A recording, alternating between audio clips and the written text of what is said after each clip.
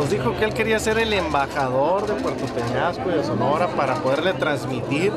a todos los ciudadanos estadounidenses y sobre todo a los arizonenses que pueden venir con tranquilidad, con seguridad a Sonora. Me llamó mucho la atención su forma de explicarlo, porque platicando ya en corto con él me decía que él es eh, un militar retirado, él es un eh, mayor del ejército donde le tocó ir a algunas batallas él conoce seguridad nacional y él dice que nunca ha visto, y eso me dio mucho gusto como militar,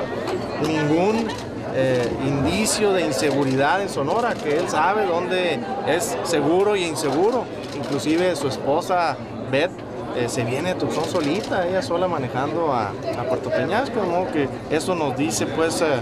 mucho. Yo creo que esa acción del señor alcalde de, Robert